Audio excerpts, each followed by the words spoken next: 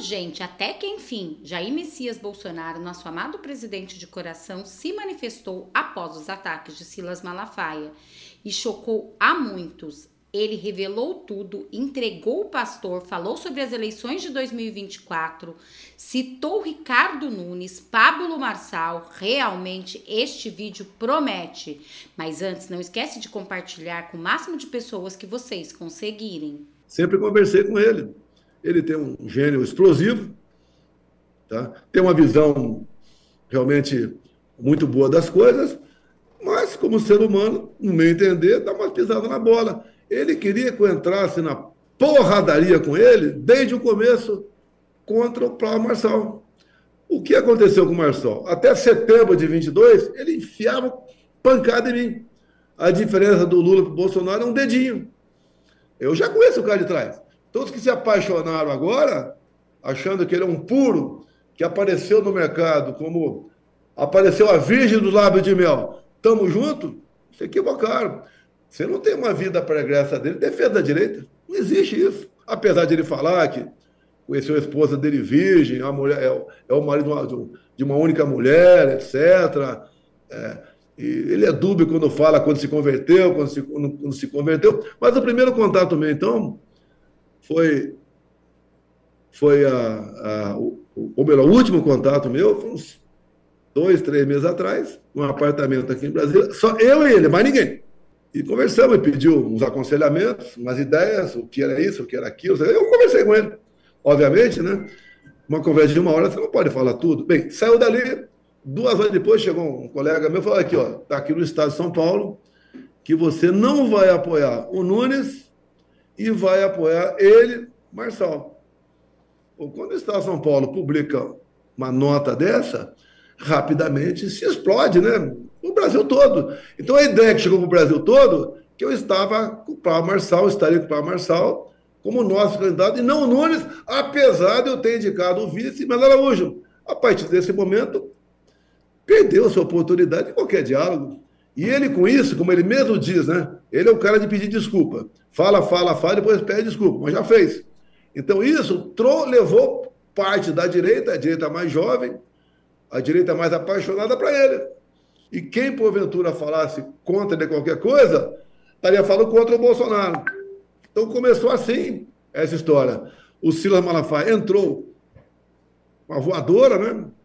Não, não me defendendo, mas dizendo das, dos furos do Paulo Marçal, que ele tem bastante, não tocante à corrupção, deixa bem claro, mas tocante a posicionamento, tocante à dubiedade de, de palavras. Tem vídeo dele falando, nem eu mesmo acredito em mim, no que eu falo.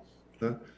E ele queria contar de qualquer maneira. Eu, logicamente, discretamente, pelo compromisso que eu tinha junto ao Melo Araújo, candidato a vice, fui fazendo a minha parte.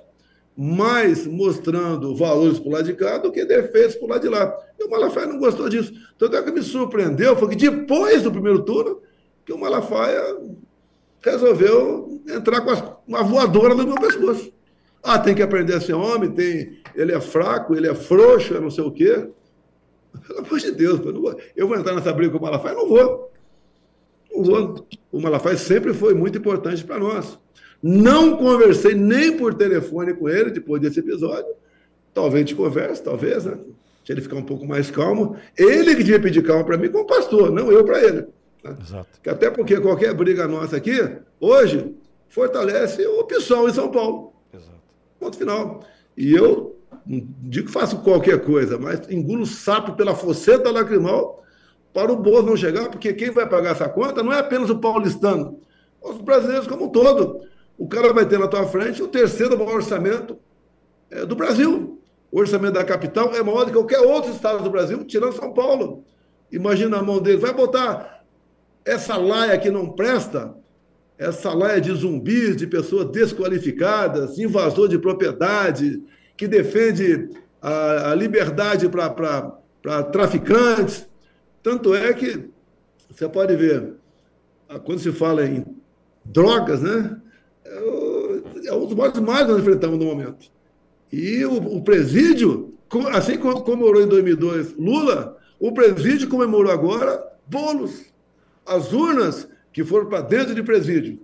Que eu achava, né? Que não devia o cara encarcerado votar, mas votaram. O cara ganha de lavada. Você quer esperar o quê? Ele vai ter uma dívida de gratidão com esses presos, como o Lula tem. O Lula, até hoje, por exemplo, o Lula não faz gestões nenhuma porque o Supremo atende o que o Lula quer, a maioria dos seus ministros.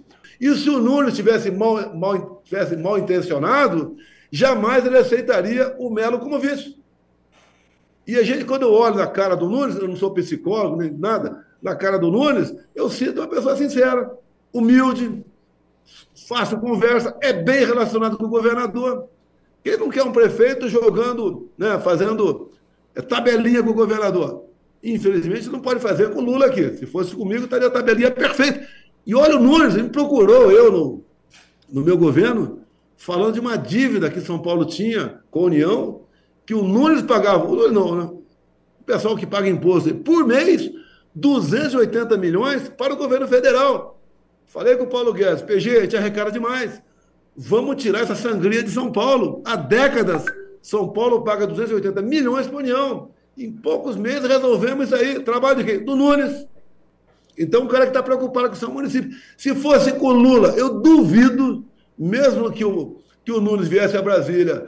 Lula, pelo amor de Deus, um beijinho, tá? um abraço. Vamos tomar 51 junto? Duvido que o Lula abrisse mão de 280 milhões por mês de São Paulo. Quer falar que o Nunes é, não fez nada? Fez, pô. Só que o Nunes é um cara que eu vejo nele, é meio parecido comigo, né? não, não, não fala muito do que fez. Ah, tem gente melhor do que ele? Tem melhor do que ele, tem melhor do que eu. Mas no momento que nós temos aí, é o self-service com dois pratos na mesa. Tá? É, um, é, um, é, um, é um, vamos assim dizer, é uma corvina e um baiacu. Você. Vai de, vai de corvina o prefeito vai de baiacu, que é o Boulos. Não se esqueça que baiacu mata. É um direito não gostar do Nunes. Quem está apaixonado pelo Marçal, tudo bem, é direito teu.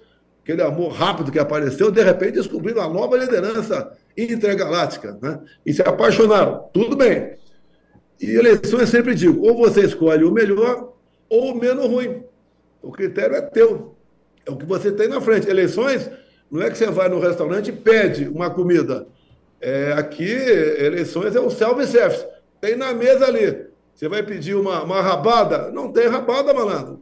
Ali tem carne de pescoço e a picanha do Lula. Você pode escolher. Não foge disso daí. E São Paulo, no meu entender, eu escolheria como melhor o atual prefeito pela reeleição, até porque o vice é um vice de responsabilidade, é o coronel Melo Araújo. Sim. Eu dei exemplo aqui em 2014. Votei no Aécio, porque o outro lado era Dilma. Mostrei também na eleição da mesa da Câmara.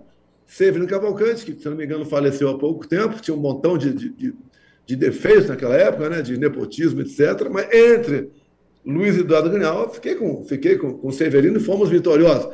Imagine o Lula presidente com a mesa, com a, com a Câmara, Luiz Eduardo Grinal, que é uma espécie de, de Flávio Dino que está no Supremo. Tá? É 100% ligado às, às causas de esquerda, ao comunismo, ao socialismo. A quanto mais pobre, melhor no Brasil. Quanto menos educação, melhor para o Brasil, porque são pessoas que não que lamentavelmente não aprendem muita coisa, ou quase nada, e não têm discernimento para decidir muitas vezes. Com esse, com esse tufão que foi a eleição de São Paulo, o primeiro turno, né? aprendendo, depurando. A partir de agora, um termo já, Pitório, ficou conhecido, né? A gente vai conhecendo os, os estrategistas intergalácticos, aqueles que sabem de tudo, né? e são muito precoces nas suas decisões, muito precoces. Isso é ruim para ele mesmo. E as pessoas vão ficando pelo caminho. Temos exemplo de muitas pessoas que ficaram pelo caminho, porque eu, eu, eu ouso dizer, algum discorda de mim, o PSOL é pior, consegue ser pior do que o PT. O PSOL está lá no, no lixo, o PT está lá no lixo. O PSOL está no chorume, é abaixo do lixo. Você vê o próprio Boulos falando que tem que liberar as drogas, liberar maconha. Qual pai que é um filho metido com, com, com drogas? Tá certo? Então, tudo que a sociedade nossa não aceita, ou a grande maioria não quer, os caras pregam em cima disso. Vocês concordam com o Bolsonaro? Deixa aqui nos comentários. Bom, Este foi o React de agora. Um ótimo domingo a todos vocês. Só não esquece de compartilhar esse vídeo e também quero fazer um convite muito especial a todos vocês que são apoiador do presidente Bolsonaro e de direita conservador. Se vocês ainda não são inscritos, se vocês ainda não são inscritos nesse canal, se inscreve no canal e vem fazer parte dessa família de direita você também. Também não esquece de deixar aqui o seu comentário. O seu comentário é muito importante para mim. Eu sempre que posto estou mandando coraçãozinho, estão respondendo todos vocês, porque o que me importa é a sua opinião. Além do que, estamos vivendo num país democrático. Então, se vocês não concordam com nada que foi dito aqui, deixe aqui sua opinião, porque a sua opinião é muito importante para mim. Muito obrigada a todos. Até nosso próximo react.